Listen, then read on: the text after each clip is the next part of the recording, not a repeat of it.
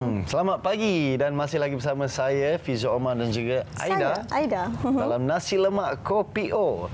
Okay. Dan Fizo sebenarnya bila uh-huh. sampai je waktu ini, hari Jumaat kita mesti akan bersama dengan seorang insan yang banyak memberi motivasi kepada kita. Yang selalu menyebarkan aura-aura positif. Betul. Saya sebenarnya dalam even dalam nasi lemak kopi O sendiri pun banyak yang saya dapat pelajari daripada Profesor Dr. Mahaya. Uh-huh. Kita nak ucapkan Assalamualaikum diucapkan kepada Profesor Dr. Mahaya. Salam Fizo Aida. Walaupun jauh Fizo ah. sebenarnya.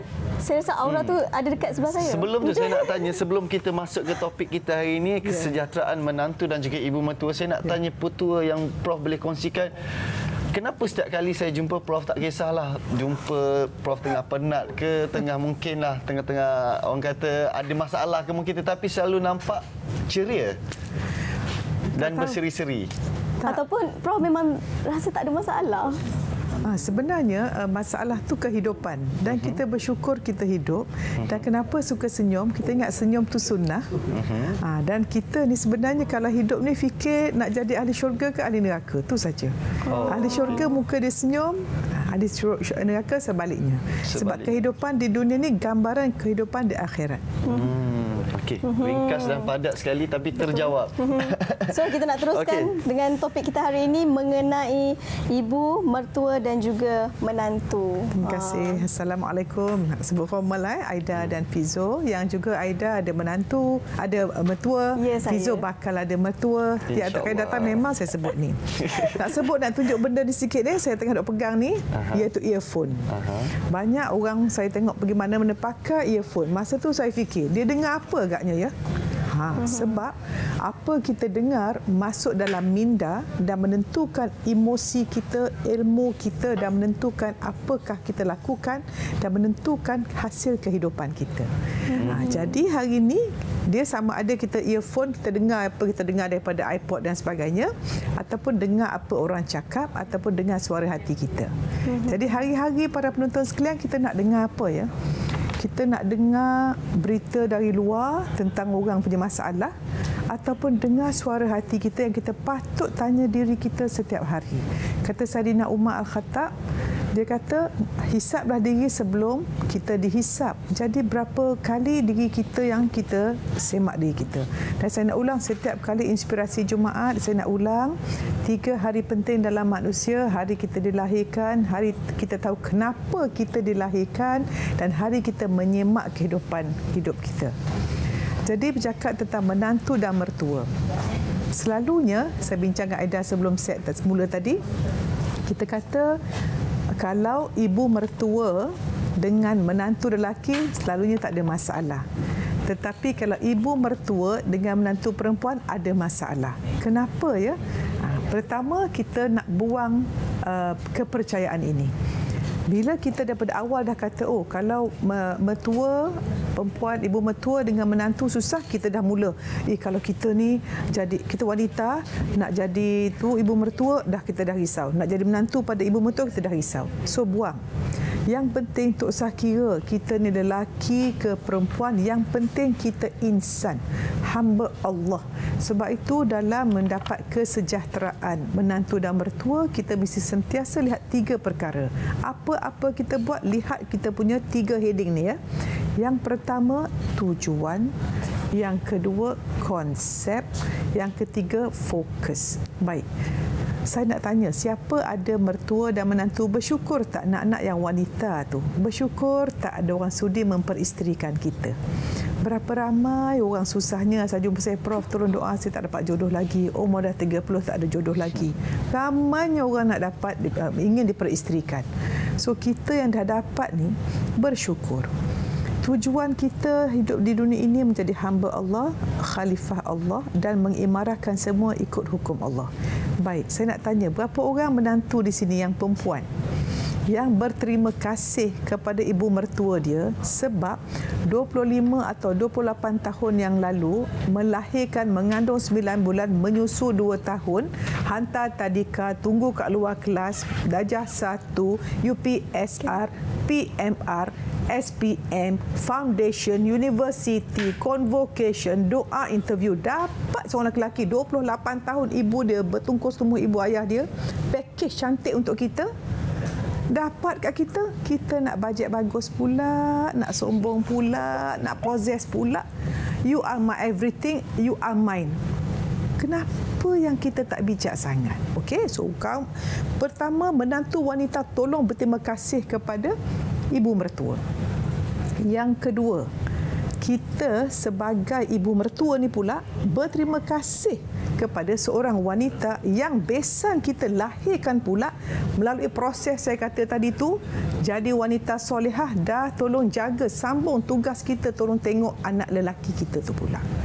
Dan kita pula berterima kasih kepada besan wanita kita, besan lelaki kita sebab melahirkan anak yang menjadi menantu kita.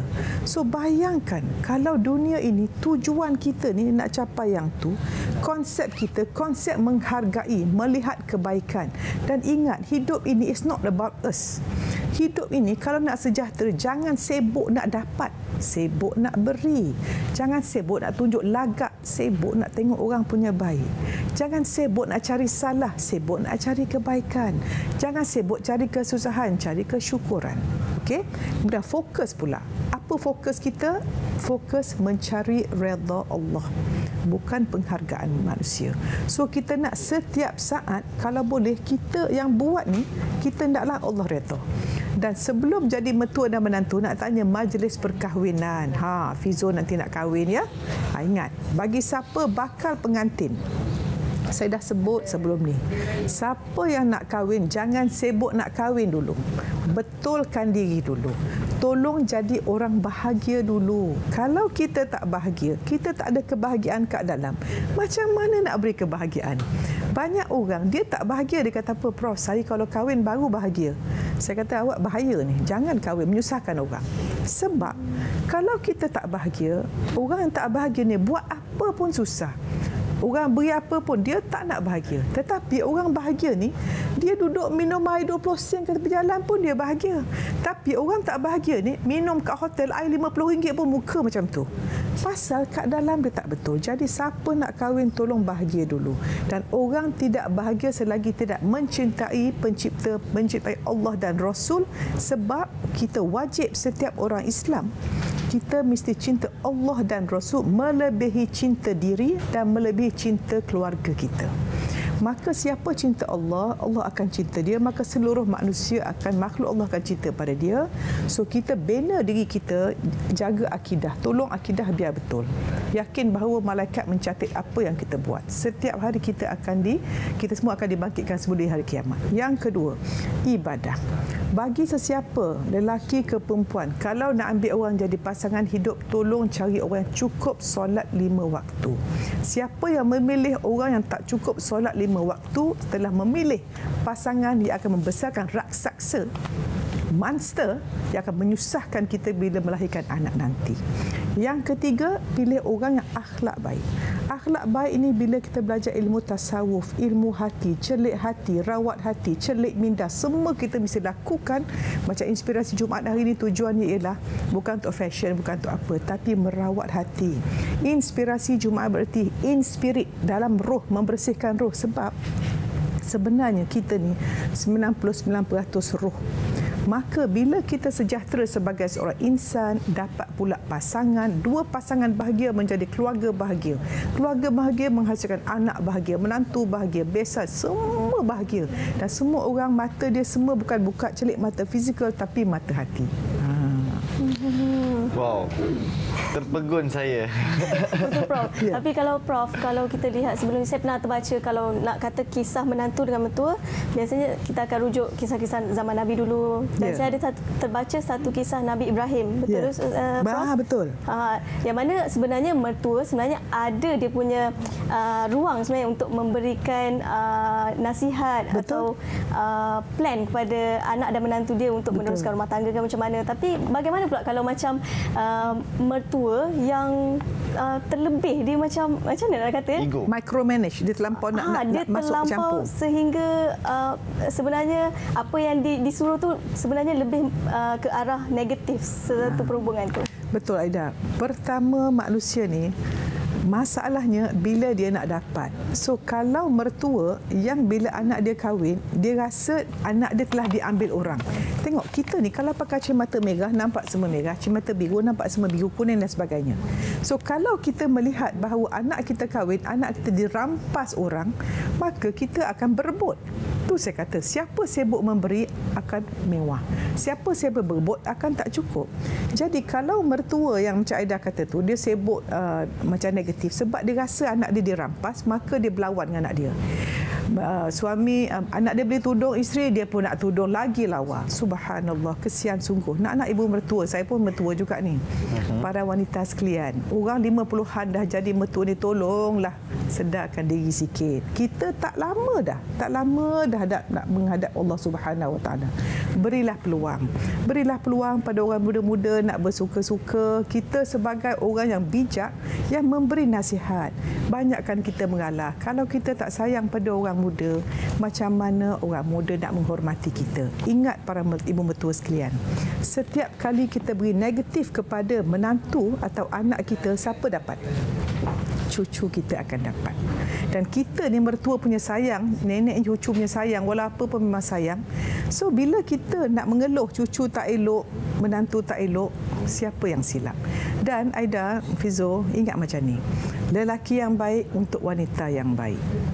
Menantu yang baik untuk mertua yang baik. Sebab itu kalau saya keluar mana-mana orang tanya, Prof, menantu saya tak elok, saya kata apa?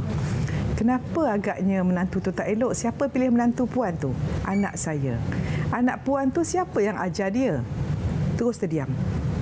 Kalau puan kata anak puan memilih, memilih wanita tak elok, apakah sistem nilai, apakah sistem akidah yang kita ajar dari kecil anak kita sampai dewasa sampai dia tertarik pada wanita yang tak soleha, wanita yang tidak menjaga aurat, wanita tak menjaga solat, wanita tak jaga pergaulan.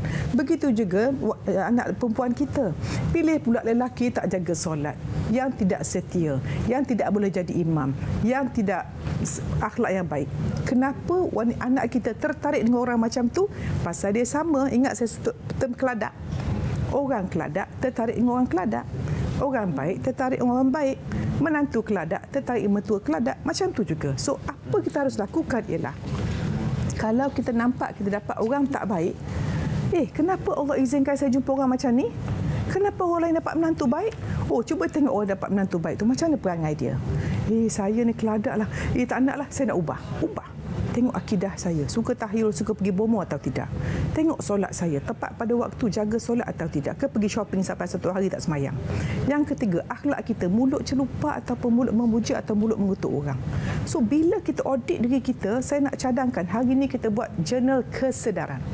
Ambil satu kertas buat bagi dua kiri kanan perangai kita hari ini menghargai mengutuk. Catik berapa kali kutuk. Semua yang kita catik maka kita akan nampak diri kita subhanallah. Patutlah hidup saya hasil macam ni. So saya nak buang yang belah kiri. Nak pindah belah kanan. Ha, okey prof mungkin uh, untuk kepada bakal-bakal pengantin di luar sana dan di dalam ini juga. Yeah. Macam mana untuk mendapatkan tips uh, kesejahteraan antara mertua dan juga menantu? Okay, yang untuk pertama, nak menyesuaikan diri dengan keluarga baru lah mungkin. Tepat. Yang pertama niat. Niat kita nak mendapat kesejahteraan dengan berkahwinnya kita dengan menambah ahli keluarga kita, kita nak sejahtera dunia dan akhirat.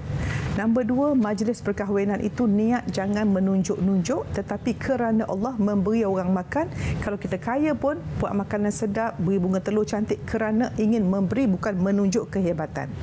Yang ketiga, bila kita dah uh, masuk rumah tangga orang tu, kalau boleh banyak belajar budaya rumah tangga mak mertua kita, belajar cara mereka sebab bayangkan kenapa kadang kita tak sesuai Fizu Faida. Kita 25 tahun lahir kita punya blueprint lain, paradigma berbeza, cara berfikir semua berbeza. So kita nak klik tu bukan senang. Tetapi kalau tujuannya satu untuk Allah, siapa cara yang Allah? So saya kata, bayangkan kita ada uh, uh, uh, tali macam ni. We go higher higher higher higher makin dekat tak kita? Siapa menuju Allah maka uhwah makin dekat. Lagi jauh kita dengan Allah lagi ber, ber, ber, bercakaran. So nak tahu kita sejahtera atau tidak tengok fokus kita untuk redha Allah atau tidak. So setiap kali kita bergaduh balik pada Quran dan hadis sirah Rasulullah. Itu petua Islam. Siapa meninggalkan Islam bersedia untuk mendapat kehinaan dunia dan akhirat. Kesejahteraan hanya dengan mengikut apa Allah suruh dan meningkatkan ketakwaan kita jaga dua T setiap hari. Takwa, taubat dan tambah satu lagi tauhid kita. Dan jaga dua D setiap hari, decision dan disiplin, keputusan yang baik menentukan disiplin yang kuat. Hmm. Tentu Fizo. Tapi sebenarnya Prof kan, kalau kita lihat sebenarnya, saya sebenarnya kadang-kadang bila uh, uh, bercakap mengenai menantu dan mertua, saya selalu tengok pada drama-drama. Kadang-kadang mertua dia macam ni, kadang-kadang menantu dia Ah, macam ni. okey. Sebenarnya itu yang yang uh, uh, menghantui ya, ini, pengaruh drama. bagus. Ini bola tanggung eh. Dia panggil Betul. bola tanggung. Saya nak cakap lama dah. Saya pun dekat TV9, dekat stesen TV pada semua penerbit, siapa semua penulis skrip, tolong buat satu drama niat. Saya kata tadi apa? Tujuan redha Allah, konsep memberi manfaat, fokus yang Allah suka. Tentukan setiap drama yang kita buat itu mengubah fikiran orang daripada negatif kepada positif sebab bukan senang ubah fikiran orang banyak pakai baju cantik fikiran tak cantik. So penerbit, pengarah, siapa-siapa yang approvekan drama ditayangkan tentukan lepas tayangan drama itu orang tu boleh masuk syurga, orang tu akan bahagia. Dan juga ingat ya, orang paling bijak beruntung ialah dosa dia mati bila dia mati. Tetapi orang paling rugi dosa dia hidup walaupun dia dah mati. Contohnya, kita buat drama negatif, kita jadi pengarah, wanita buka aurat, tidak jaga perbatasan pergaulan, bersedialah menerima pencen-pencen kubur yang kita tinggal yang tak elok itu.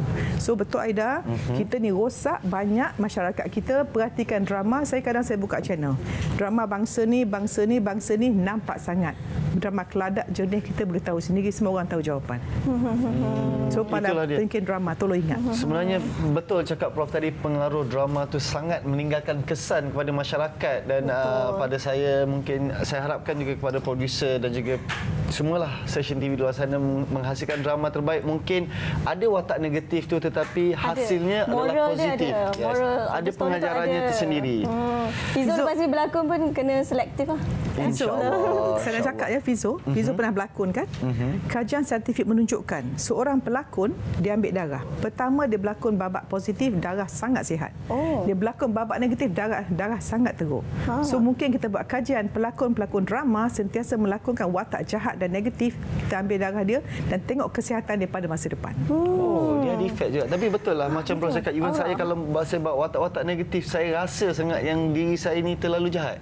Betul. Saya pernah buat watak yang kurang ajar dengan uh, orang tua contohlah mak saya dalam drama saya rasa macam tak best tau. Oh.